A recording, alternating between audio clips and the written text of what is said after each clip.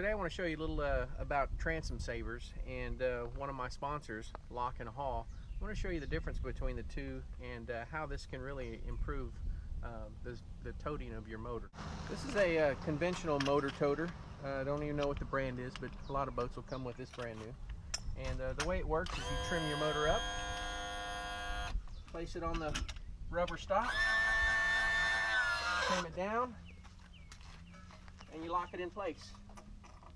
And after it's locked in place, what I want to show you is the movement that still exists. You see how that motor still moves back and forth?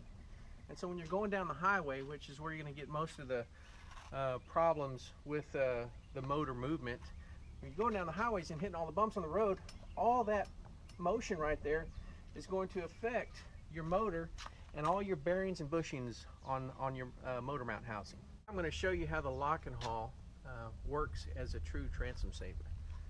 So I've already got this adjusted. It's a very simple adjustment. It's just uh, some uh, finger screws and once you get it adjusted you just tighten it up in place and it's very solid. You got an aluminum brace on the top.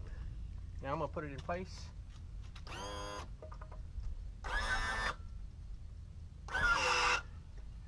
Once it's in place, you've got the little lanyard. Lock the safety lanyard on. The safety lanyard is mainly in case you have a leaking solenoid, a leaking trim solenoid. Uh, it'll loosen the pressure and if you hit a bump it'll bounce out so you can always save it. But if all your solenoids are good it'll never go anywhere. You force, force that motor back into it. So now I want you to see the movement with the lock and haul transom saver on there.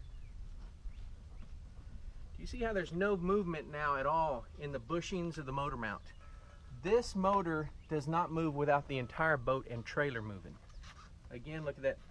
No movement in the transom, no movement in the bushings on the motor, and that is a true transom saver. Check it out, Lock and Haul.